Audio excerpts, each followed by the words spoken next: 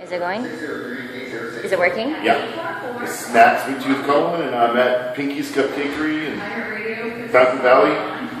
And this is the three pound man up cupcake.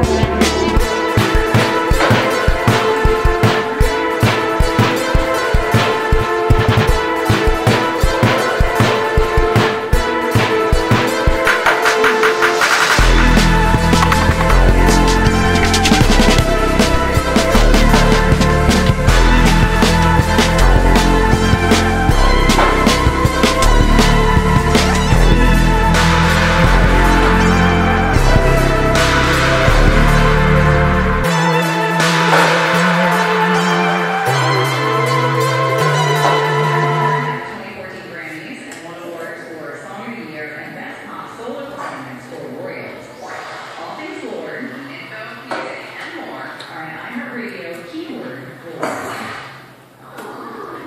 now, a look back at this week in history. Holiday Christmas began in 1759. You did it. The French